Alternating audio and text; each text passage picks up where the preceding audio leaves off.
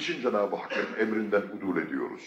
Neden Allah'ın emirlerini yerine getirmiyoruz? Neyimize güveniyoruz?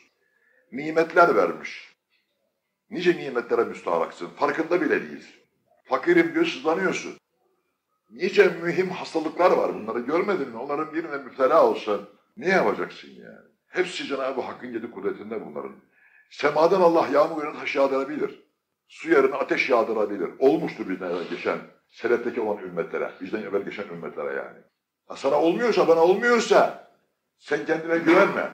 İçimizde Hz. Muhammed Mustafa var.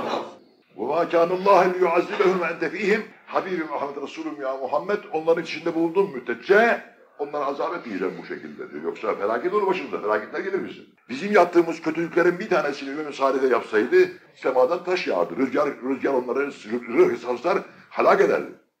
Okuyun Kur'an-ı Kerim'i. Allahü Teala onları hikaye diye bize etmiyor. Bize ibret olarak gösteriyor.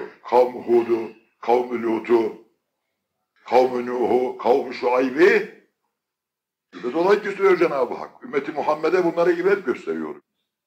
Tarihten ibret almazsa, bizden evvel geçen ümmetlerin başına gelen felaketlerden ibret almazsan, tarihe ve insanlığa ibret olursunuz. Başına bir iş gelir, ibret olursun sonra.